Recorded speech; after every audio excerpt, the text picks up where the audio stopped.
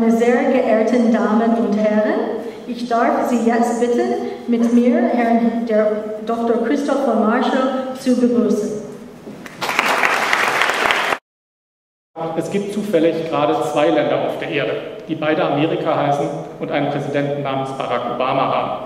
Denn das Bild dieser Präsidentschaft in Amerika und in Deutschland, das sind zwei völlig unterschiedliche Paar Schuhe.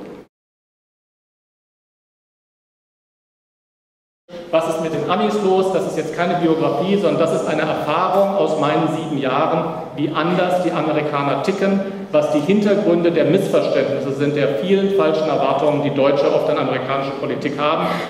Es ist eine Demokratie und tatsächlich stimmen Mehrheiten öfter mal für Leute, die den meisten Deutschen nicht ganz so sympathisch sind wie, sagen wir, Bill Clinton oder Barack Obama. Die Deutschen erwarten ja sehr viel vom Staat und von der Regierung, sogar dass sie für soziale Gerechtigkeit sorgen sollen. Auf diese Idee käme ein Amerikaner überhaupt nicht. In Amerika ist der Unternehmer, der erfolgreiche Unternehmer, positiv besetzt. Es gibt sehr wenig Sozialheit. Die haben natürlich Hass auf die Banker, diese anonymen Banker in New York. Aber der örtliche Sparkassendirektor ist ein toller Mann. Und wenn der ein größeres Haus hat und ein besseres Auto fährt, dann ist das ein Grund, dass man ihm nacheifern möchte. Nicht, dass man sagt, der Typ, der ist mir irgendwie verdächtig.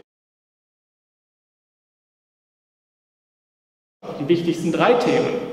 Das ist die Wirtschaftskrise mit ihren Folgen für den Arbeits- und Häusermarkt. Und zweitens die Wirtschaftskrise mit ihren Folgen für den Arbeitsmarkt und den Häusermarkt. Und drittens die Wirtschaftskrise, Sie können sich das schon denken, mit den Folgen für Arbeitsmarkt und Immobilienmarkt. Das ist, was die Amerikaner bewegt.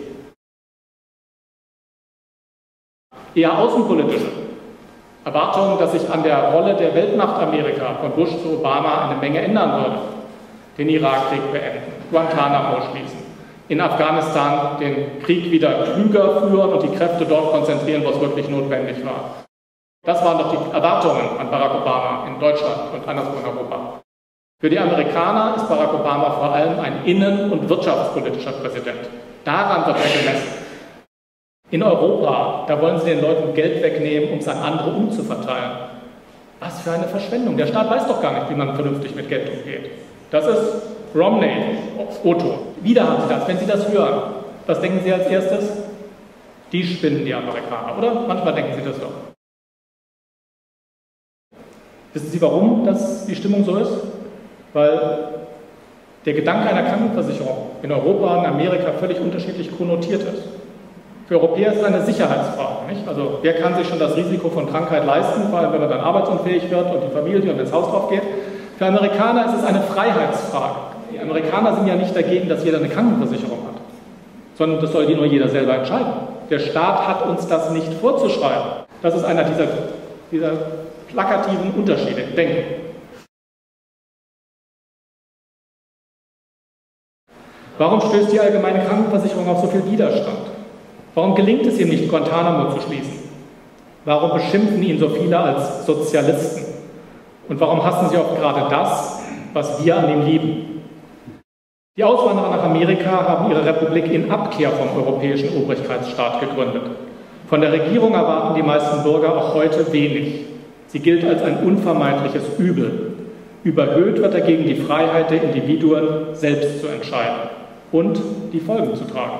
Schwimmbäder, Spielplätze, kommunale Büchereien leben von Zuwendungen der lokalen Firmen und der Bürger. Kirchengemeinden finanzieren sich ohne Kirchensteuer, allein aus den Kollekten ihrer Mitglieder. Amerikaner tun das nicht, weil die staatlichen Mittel leider nicht ausreichen. Sie glauben, dass die Eigeninitiative der Bürger die bessere Organisationsform ist. Sie wird nicht als ein Notbehelf betrachtet, sondern als das eigentliche Ideal. Wenn ich so richtig überlege, was ich von diesem Wahljahr erwarte, etwas knapp, aber eigentlich würde ich doch eher darauf wetten.